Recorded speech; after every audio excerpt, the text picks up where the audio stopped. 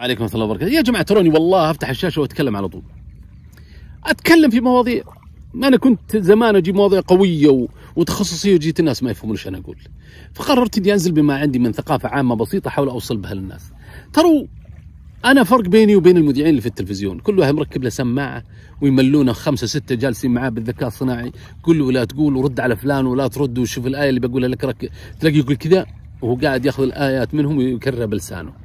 والأوتوكي أوتوكي اللي هي شاشة قدام المذيع كذا مكتوب فيها كل حاجة ويتكلم كأنه جايب الكلام من راسه ولا يقول قصيدة من راسه وما هي من راسه ولا شيء. الأوتوكي قاعد يمليه قدامه على الشاشة والذكاء الصناعي قاعد يمليه والشاشة قدامه مكتوب فيها كل حاجة. ولذلك تجد إنه فرق شاسع لما نجي نتناظر. أنا أي واحد يقول لي أنت يا أحمد من تعال ناظرني. خلنا نبعد الجوال وابعد جوجل وابعد الخراط واللي في راسي مقتنع فيه وهات اللي راسك مقتنع فيه. تلاقيه ينسحب مباشرة. أنا والله لما أتكلم يا جماعة الخير ما أتكلم من أجل الإفساد. لما أتكلم ما أتكلم إلا بما قرأت. ويمكن بعض ما قرأت غلط. لكنه نشب في راسي هنا وأصبحت أصرح بهذه المعلومات بناء على ما قرأت. يمكن المعلومة صح والمعلومة خطأ. الله أعلم. فهمتوا الفكرة؟ ولذلك يا جماعة معظم رفعتي للشاشة أتكلم من راسي في أي موضوع أشوف أي شيء عابر. البحر مكونات املاح الشيا الشجر اللي ورانا المنجروف كيف هو ومتى يثمر وكيف هو من معلوماتي الموجودة في راسي ليس والله من قراءة وليس من ثقافة يملوني عشان أقولها لكم ولا عندي أوتوكي ولا عندي سماعة أتكلم بها. ولذلك لا تشرحون علي. إني ما اطلع زي المذيعين. المذيع يعبونه بالملي إيش يقول. حتى لما أروح لقاءات في أغلب القنوات يمنعون ما يعطوني مواضيع. ليش؟ يقولون لك تحضر بتصير أحسن منا. خلنا نطلق كذا لطخة في الوجه نجيب لك موضوع ما تدري فين راسك.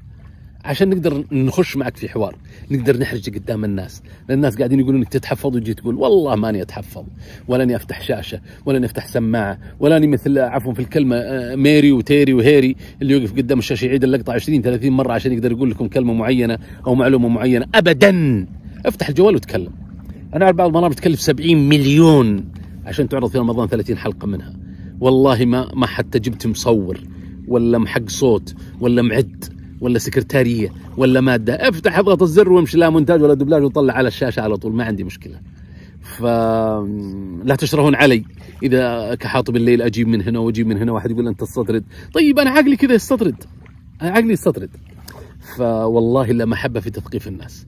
وأي موضوع يفتح لي أحاول أن أشارك فيه بما عندي معلومات. لا يحسبوني أفتي في كل شيء. لكني قرات كثير يا جماعة. وجربت كثير يدي قطعت. من كل زاوية في قطعة. وأنا قاعد أجرب. خلني قبل ما أموت أطلع بعض المعلومات أموت وأنا فارغ. قد طلعت اللي عندي كله. ولا أحسد واحد. فأنا دوما أقول مت فارغا عشان تفيد الأمة وتكسب أجر وتدخل الجنة بإذن الله بسبب هذه المعلومات اللي تفيد بها الناس.